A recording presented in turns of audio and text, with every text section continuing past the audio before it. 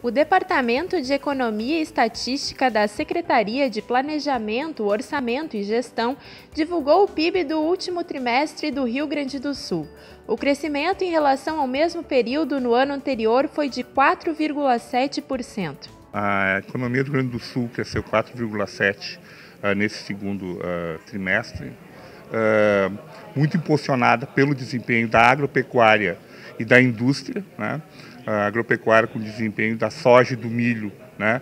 Uh, em função até da recuperação de uma queda da safra que teve no ano anterior, fruto do, de uma estiagem que, que atingiu certos municípios, e a indústria uh, principalmente o setor automotivo. Em relação ao resultado do PIB no primeiro semestre do ano, o crescimento foi de 3,8%.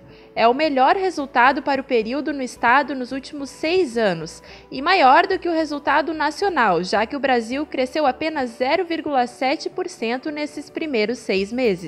A gente viu um, um primeiro semestre ah, que não era tão bom desde 2013. Eu acho que depois de dois anos de uma longa recessão e, e os anos seguintes de baixo crescimento, é uma boa notícia. E é uma boa notícia especialmente quando comparado não só com os últimos anos no Rio Grande, mas comparados também com, ah, com o Brasil. Né? A gente tem um crescimento bem maior do que tem sido o crescimento brasileiro, que é uma retomada daquela capacidade, especialmente da indústria, capacidade ociosa que havia na indústria, isso está se retomando.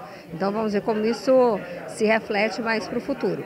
Setores responsáveis por alavancar o crescimento no semestre, a agropecuária e a indústria cresceram respectivamente 7,2% e 5,5%.